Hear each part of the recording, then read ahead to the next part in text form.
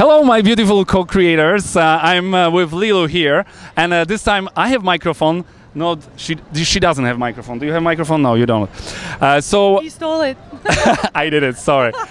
so uh, tell us because you're asking a lot of questions. So I think it's time to ask you, uh, her, the question. So how you started that, and uh, what motivated you to to do this? To to interview people, even you don't have a background as a journalist, but I have. but uh, you you did it, and you you're doing that for many years. And I've been watching that, and it's really serious, and it's really inspiring. Thank you. So how it started? It it started from uh, really just video blogging. I started with two friends the 100 Day Challenge, and the 100 Day Challenge was all about for 100 days following, um, setting up some intentions, and then doing video blogs. And I started video blogging on YouTube and sharing my insights and challenges about life. I started me- meeting awesome people, and my start my life started opening up, opening up, opening up more. And then I thought I want to share all of it. So then I started interviewing people and and I don't know, just one thing led to the next. It's definitely not a perfect journey, and none of our journeys are perfect. So I'm all about everyday inspiration from everyday people, and sometimes it's uh, New York Times bestsellers, but sometimes it's like this four and a half year old awesome free hugger. Some other times it's just somebody that really dared to have the courage to step in their dream, and it's all about inspiration to me.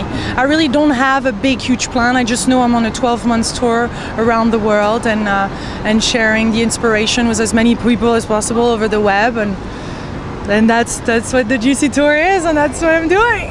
So what's what really motivates you? Because like this is. Um, uh, I know, like from the background, I know that uh, interviewing people is hard work, and uh, it takes a lot of uh, time, and you have to be prepared.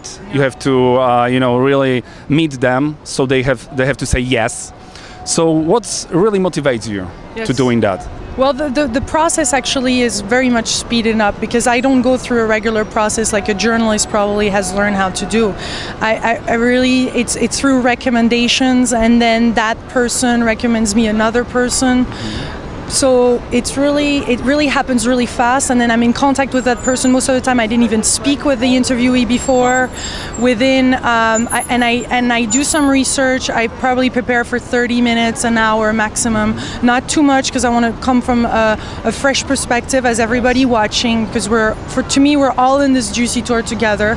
And so it, I want to be more coming from a place of not knowing and coming from an open mind as much as possible. Yet I do have some questions prepared, and what seems quite spontaneous sometimes is actually quite quite a lot prepared because there is sections and questions that I have in my mind. But then I put the paper down and don't even look because otherwise your mind wants to read it and That's what I realized uh, watching your interviews. Yeah. There is no questions. There's no questions yet, they're already there. And what happens is that then they pop at the right time, but they were already thought before and then they're placed. And then there is always those spontaneous, inspiring moments where the question just comes.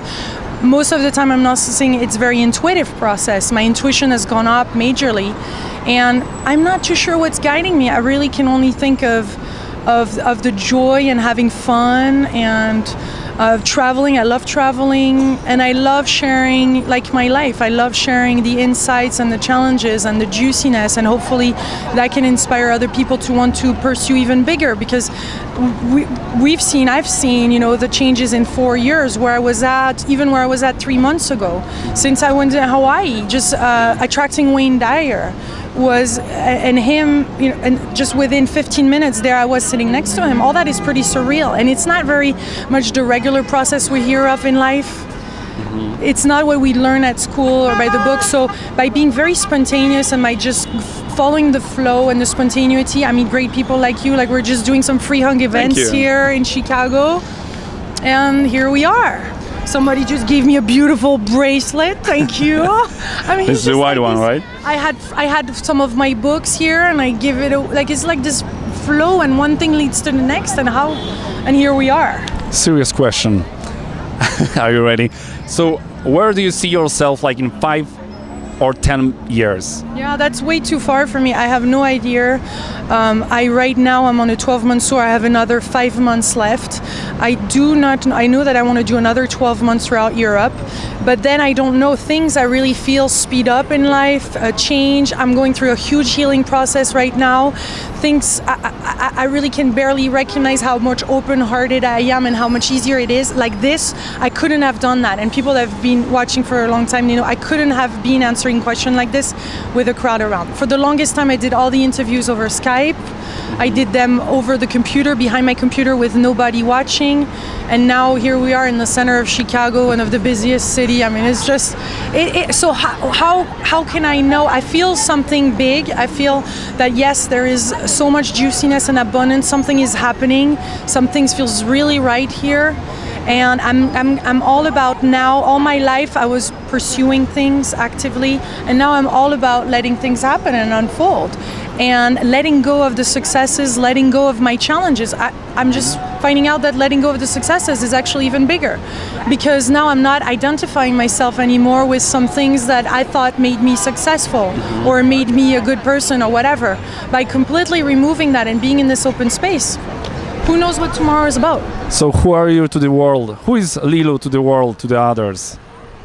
who do you, what do you think I don't know, I'm asking. you know I'm just asking. No, I don't know. I am. Uh, I feel I'm. Uh, when I went through the landmark education years ago, which was one of the first seminar I took, uh, what came up is who I am is empowerment, freedom, and joy for the world, and that's best that you know. Um, That's what are you doing? that's what I'm doing, and it's just happening. So whatever is an expression of that, whatever is an expression of love and of inspiration, then then I'm there, and I and we're all that. So that's my message, where we can just step in that courageously into the unknown, and as long as it feels good, we can't go really wrong. Okay, the last question because it was very serious right now. Uh, more funny. So tell us the most funniest story during your travel interviews. Like so, something funny happened really, hmm. and you you never share about that. So if you could tell over there, what was that? Uh, the, the, the most giggly moment, I, I don't know if it was funny, but to me it was funny, is just seeing dolphins making love. I, and I was not, I know this is not just, yeah, such a little one, oh my God. Because I didn't realize, but here they are, the two dolphins, like upside down. I'm like, this thing is upside down. Oh my God, what is he doing? And then all of a sudden I get closer and I was like that close from the dolphin. And I see this black thing, like just this little tiny black thing, like going in between that. I'm like, oh my god, they're making love, and that was so cool. That was the coolest thing, and not um, kind of shocked because I had heard that dolphins were making love all the time and they were high vibrational being, but I just I thought I was giggling like a little girl, like finding out about love making. It was just like so funny, so funny to me. I know this is not the funniest story. Sorry, I'm not a comedian. All right, thank you so much uh, for the interview, and uh, stay tuned, guys, and watch Juicy Tour. Juicy Living Tour.